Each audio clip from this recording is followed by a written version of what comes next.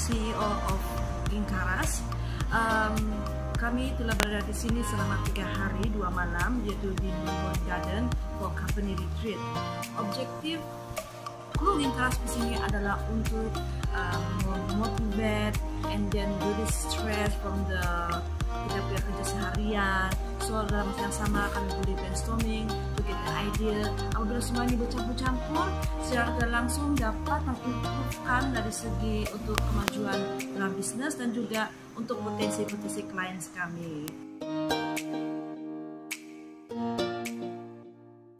So um, apa yang activity kami buat di sepanjang berkumpul di sini adalah we have um, team building activities and also business plan uh, brainstorming.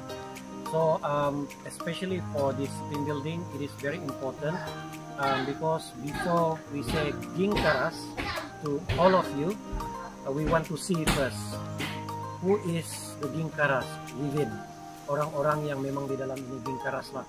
So we have um, self-discovery activities, we have um, reflection activities, So all in all, I hope that um, each member of the Gingkaras, orang semua sudah grab something and then balik dengan lots of new knowledge.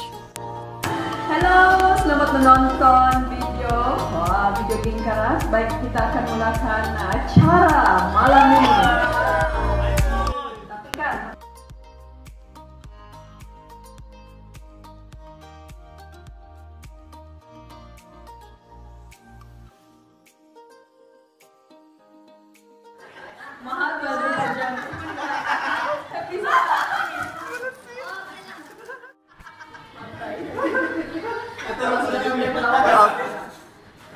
Oke, ambil lah. Ambil lah.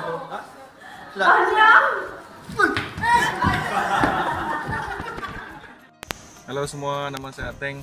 Uh, kami baru saja selesai uh, company retreat Gingkaras punya company di Nuluhon Garden Retreat House Inanam saya sendiri telah banyak mendapat uh, input-input uh, yang berguna untuk saya gunakan sepanjang kerja saya sebagai seorang VJ ataupun talent di Ging Karas ini yang mana saya sendiri juga akan gunakan itu nanti untuk uh, nyokong ataupun pengikut followers kami di Facebook, Instagram, YouTube dan menarik ataupun attract ke Twitter Ging Karas.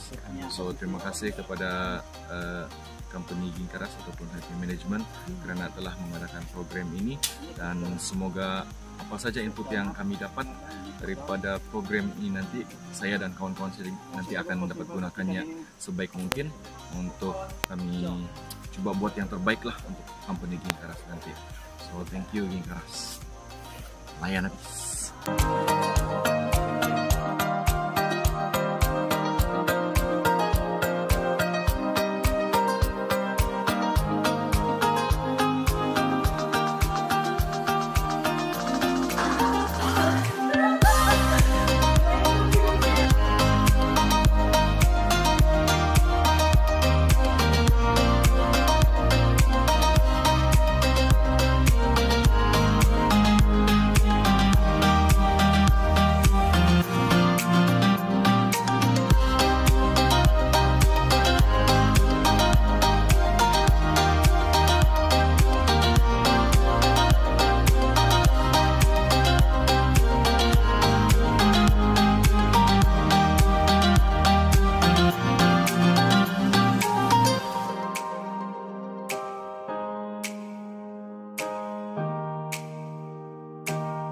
Gingkaras Layanan Itu saya dari saya, Gingkaras Layanan Gingkaras Layanan